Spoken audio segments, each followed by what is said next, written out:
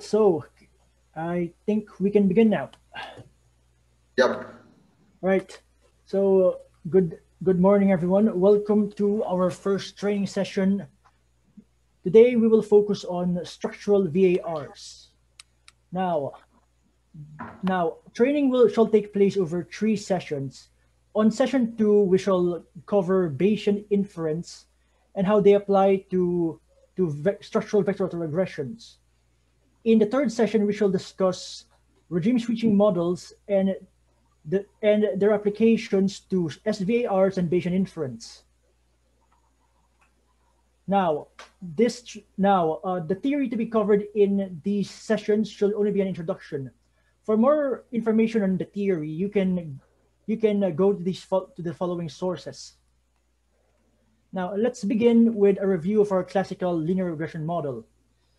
Now, in linear regression, our goal is to minimize the prediction error given by the true value of y, the difference of the true value of the, the dependent variable, and our estimate.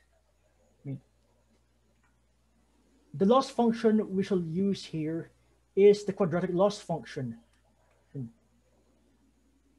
And we have our generalized OLS estimate given as so. Now, as we know from basic econometrics, ordinary least squares becomes the best linear unbiased estimator if the Gauss-Markov conditions are met. This also implies that our sample at least must take a normal distribution. Now, moving forward, economic theory requires empirical validation, and economic theory sometimes posits that variables have some sort of structure. Take, for example, GDP.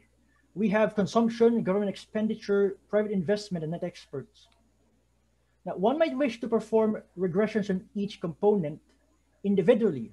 For example, to, in regressing consumption, we might take, we might regress consumption for each, for a cross-section data set for each federal state of Germany.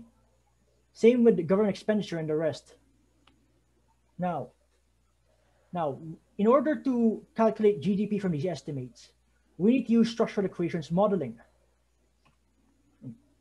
Structural equation models may also arise from what we call omitted variable bias. Now, if we want to estimate the supply and demand curves of a good, good we need to derive the following condition where supply equals demand to obtain equilibrium. Now, after performing a few derivations, we may find price as so, then plug it into the demand curve. If we estimate the demand curve using naive OLS, we gain a biased estimate because, because the parameters estimated are affected both by supply and demand elasticities. In order to prevent bias, we use what we call instrumental variables to estimate the, the endogenous variable supply. Now here in this case, the, the variable W sub t becomes our instrumental variable and, and the term U sub t becomes our new error term. Doing so allows us to obtain this new price calculation and we follow it with a new unbiased estimate. As so. Now, what this simply means is we are regressing the endogenous variable as the dependent variable of the instrumental variables.